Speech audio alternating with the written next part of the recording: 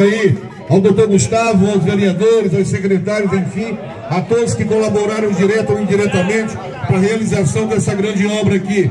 Parabéns principalmente aos moradores, aos moradores aqui do bairro, que são os grandes beneficiados com, toda, com todo esse trabalho. Vamos lá, inaugurando oficialmente com a ponte e vamos seguir para a próxima inauguração. Muito obrigado a todos vocês.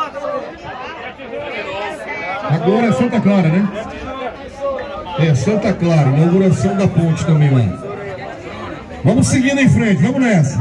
Que carrega no peito a esperança que nunca se cansa por um lutador. Eu tenho amor e orgulho dentro do coração. A cidade segue num rumo seguro.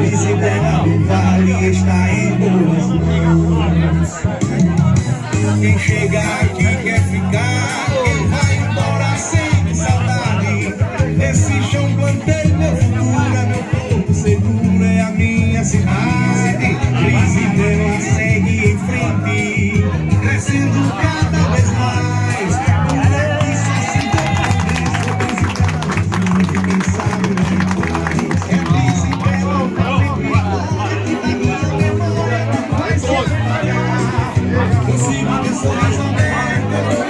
senhor, o senhor é persistente, não é isso? persistente, cara. Quando a gente quer, a gente faz. Em 10 meses de governo, zeramos as pontes de madeira em nosso município. Construímos aqui na Residencial Iris, acesso da rua Luiz Guimarães e a outra na Residencial Iris já está dada a ordem de serviço. Não foi construída ainda porque apenas nós temos este acesso enquanto esta ponte estava sendo construída.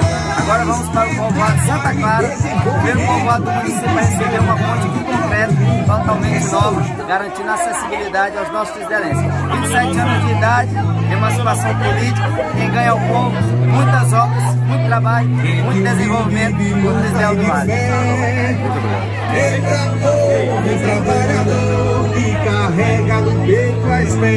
Mais uma ponte inaugurada.